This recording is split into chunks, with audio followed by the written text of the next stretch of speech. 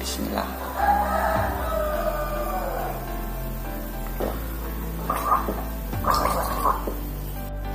Halo, Assalamualaikum warahmatullahi wabarakatuh.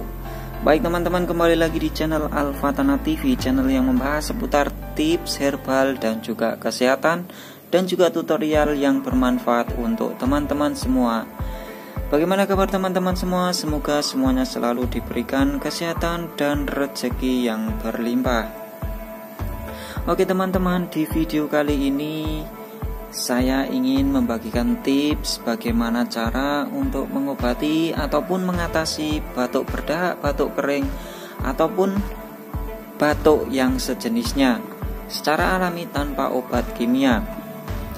Jadi hanya dengan bahan alami satu bahan alami ini saja teman-teman uh, bisa mengobati batuk yang lama tidak kunjung sembuh. Oke, buat teman-teman yang baru bergabung di channel ini, silahkan teman-teman subscribe dulu channel ini dan jangan lupa juga nyalakan tanda loncengnya agar teman-teman tidak ketinggalan dengan video-video terbaru ataupun terupdate dari channel ini. Buat yang sudah subscribe, saya doakan semoga selalu diberikan kesehatan dan rezeki yang berlimpah. Amin. Ya Alamin. Oke teman-teman, langsung saja kita masuk ke inti videonya. Bagaimana cara untuk mengobati batuk kering, batuk bedah, ataupun batuk sejenisnya secara alami dengan bahan satu ini, yaitu jeruk nipis. Pertama-tama teman-teman silahkan siapkan tiga buah jeruk nipis atau teman-teman cukup satu aja ya tidak apa-apa. Untuk yang pertama yaitu teman-teman silakan. Teman-teman silakan. Ya ini di diketuk-ketuk dulu. Tujuannya apa teman-teman? Supaya uh, air yang terkandung di dalam jeruk nipis ini uh, nanti banyak yang keluar. Jadi uh, contohnya harus di pukul-pukul seperti ini ya teman-teman. Dipukul rata seperti ini. Jadi e, kenapa kita memilih jeruk nipis ya? Karena e, seperti yang kita tahu ya bahwa jeruk nipis ini adalah obat tradisional sejak zaman dulu yaitu sejak e, zaman nenek moyang kita. Jadi dulu kalau uh, batuk ataupun sakit tenggorokan itu menggunakan jeruk nipis. Kita tepuk-tepuk seperti ini ya teman-teman. Kita tepuk-tepuk seperti ini. Sebentar. sampai benar-benar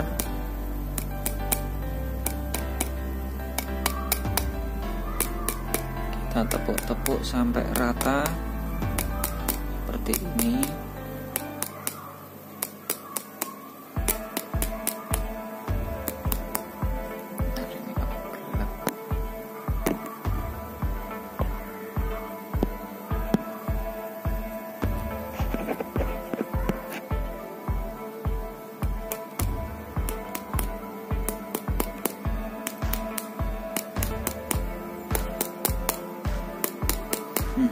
baunya ini sudah tercium ya teman-teman. Bau dari sari jeruk nipis ini hmm, seger.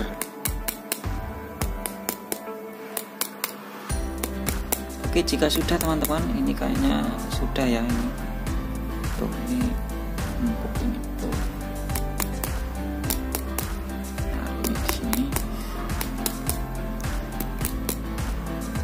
setelah itu teman-teman silahkan uh, iris bagian tengahnya tapi jangan uh, jangan sampai putus ya teman-teman. Jadi terserah teman-teman semua bisa dibelah jadi dua juga bisa. Tapi di sini saya cuman saya belah separuh aja ya. Jadi nggak sampai terbelah. tuh uh airnya ini teman-teman airnya banyak sekali.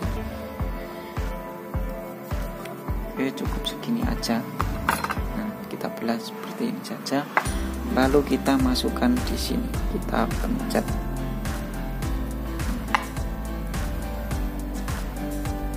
Oh sekerasnya ya teman-teman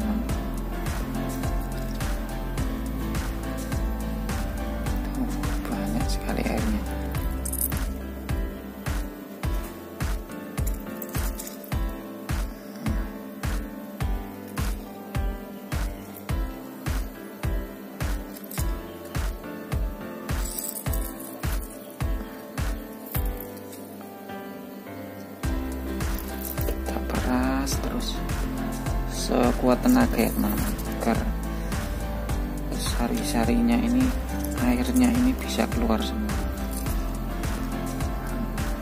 tuh. ini banyak sekali teman tuh tuh airnya banyak teman-teman hmm.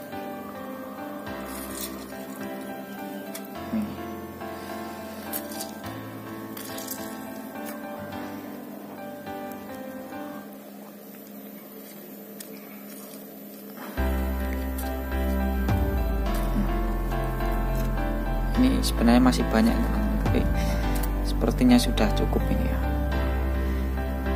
Sebentar saya ambil uh, sendok dulu.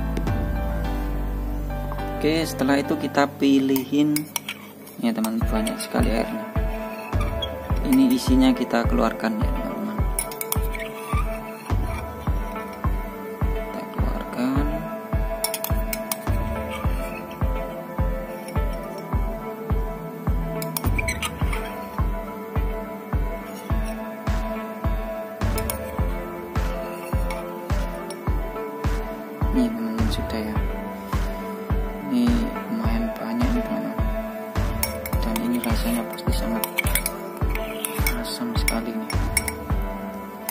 Lalu untuk selanjutnya teman-teman silahkan langsung saja diminum tanpa dikasih kecap ataupun dikasih campuran lainnya ya teman-teman. Karena eh, agar bisa maksimal agar batuknya segera teratasi.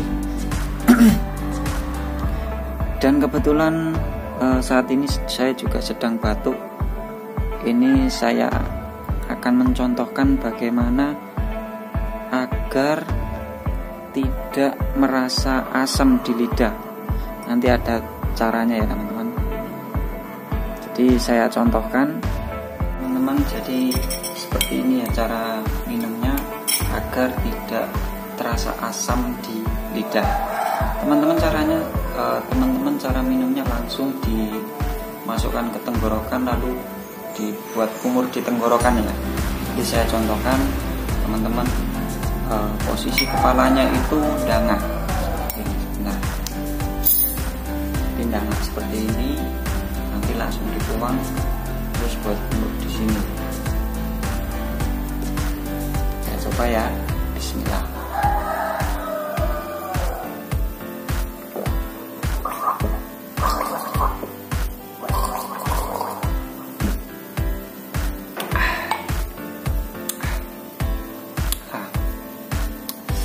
rasanya langsung di tenggorokan langsung lega ya teman-teman oke itu saja eh, sedikit tips dari saya bagaimana cara untuk mengobati atau mengatasi batuk kering ataupun berdarah secara alami dengan jeruk nipis yang insya Allah hanya satu menit hitungan menit eh, batuknya sudah hilang Oke, terima kasih sudah menyimak video ini hingga akhir. Semoga video ini bermanfaat dan sekali lagi jangan lupa subscribe dulu channel ini agar channel ini bisa berkembang dan bermanfaat untuk semua orang. Terima kasih. Wassalamualaikum warahmatullahi wabarakatuh.